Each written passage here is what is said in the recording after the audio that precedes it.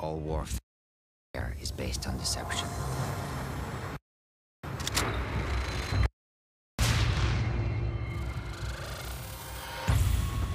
For years, the West's hypocrisy has made the world a battlefield.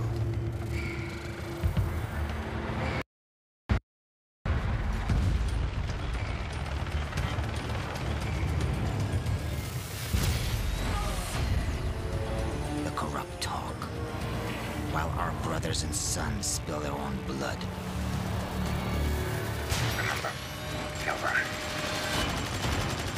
But deceit cuts both ways. Russian authorities claim the attack was orchestrated by an American CIA operative named Joseph Allen. The bigger the lie, the more likely people will believe it. And when a nation cries for vengeance, the lie spreads like a wildfire. I'm looking at fighter jets over I-95. The fire builds, devouring everything in its path.